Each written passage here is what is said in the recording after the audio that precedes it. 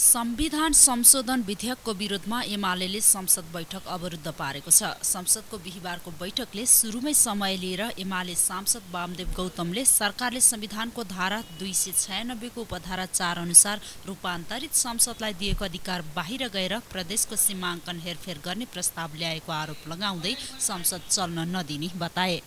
नेता गौतमले प्रदेश सभाको अनुमति बिना सीमाङ्कन हेरफेर गर्न नपाउने कानुनी व्यवस्थाको सरकारले उल्लङ्घन गरेको समेत दावी गरे। मुलुकलाई विखण्डित पार्न सरकारले ल्याएको संशोधन प्रस्ताव पारित हुन नदिने गौतमको जिकिर छ।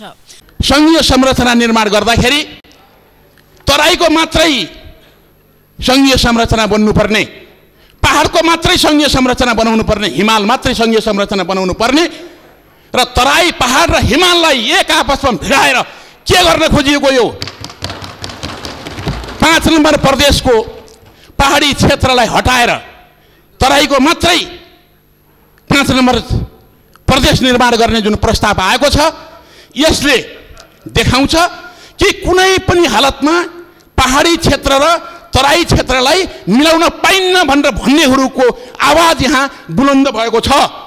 यो बुलन्दी भनेर भनेको नेपाल राष्ट्रलाई बहुराष्ट्रिय राज्यमा फसाउने र तराईलाई एउटा राष्ट्रको रूपमा विकास गर्ने र अन्तमा गएर त्यसलाई स्वतन्त्र हुनको निम्ति मद्दत गर्ने गरी यो प्रस्ताव आएको छ। त्यसकारण यो प्रस्तावको घोर विरोध गर्दछौँ हामी। सम्मान्य प्रधानमन्त्रीज्यू तपाईँमाथि दुईवटा आरोप लाग्न सक्छ। एउटा तपाईँले संविधान बुझ्नु भएन अर्को तपाईँले संविधान बुझेर पनि त्यसको उल्लङ्घन गरिराख्नु भएको छ। बैठकमा गौतमले सभामुख अनुसरी घरतीका काम कारवाहीमाथि टिप्पणी गरेको भन्दै कङ्ग्रेसका मुख्य सचेतक चिनकाजी श्रेष्ठले नियमापाती जनाएका थिए। सभामुख अनुसरी घरतीले संविधान संशोधन प्रस्तावबारे बैठकको कार्यसूचीमा नरहेकाले सदन अवरुद्ध नगर्न पटक पटक आग्रह गरेकी थिइन्। तर एमाले सांसदहरूले उभिएर विरोध जारी राखेपछि बैठक अवरुद्ध भएको हो।